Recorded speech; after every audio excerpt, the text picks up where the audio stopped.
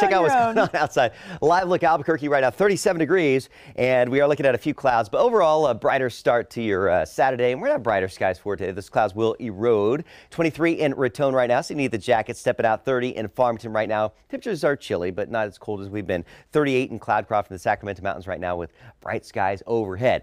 The daily wind planner for Albuquerque. We like to see this during the wind season. Not expecting any strong wind for today. We're talking about those breezes about 5 to 10 miles per hour averaging throughout the afternoon. Some higher gusts, but again, not that strong here in Albuquerque for today. It will be a little bit stronger across eastern areas of the state. We'll call it breezy to windy for Raton, Las Vegas, into Santa Rosa, Roswell, and Carlsbad. Temperatures will be much warmer all areas, so we'll have pretty much everybody in short sleeves and shorts for today, especially the southern two thirds of New Mexico get over the mountains. Of course, that's not the case. And then for your Sunday, tomorrow, I do think we're going to have stronger winds across a large part of New Mexico. So we'll call it a windy day for all areas possible blowing dust, high to extreme fire danger, and also some spot showers across the Four Corners region. The San Juans can see a few of those spot showers up around Durango and uh, Farmington, Cortez, and uh, Chama. We'll have to watch that. Monday, we're going to have more strong winds across the state. These little wind indicators right here represent the winds out of the direction that they're blowing. So they're blowing from a west-northwesterly direction